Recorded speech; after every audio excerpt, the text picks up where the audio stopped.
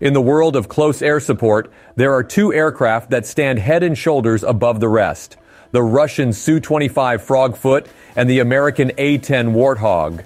These two aircrafts are known for their ability to rain death and destruction on enemy forces. The Su-25 is smaller and lighter than the A-10, and it's also faster. It has a top speed of 670 miles per hour compared to the A-10's 470 miles per hour. The Su-25 also has a longer range, at 800 miles compared to the A-10's 600 miles. In terms of firepower, the Su-25 and A-10 are pretty evenly matched. Both planes have a 30 millimeters cannon as well as a variety of rockets and bombs. However, the Su-25 can carry more weapons than the A-10. When it comes to armor, the Su-25 is the clear winner. The A-10 only has up to 540 pounds of titanium armor compared to the Su-25's 1,100 pounds.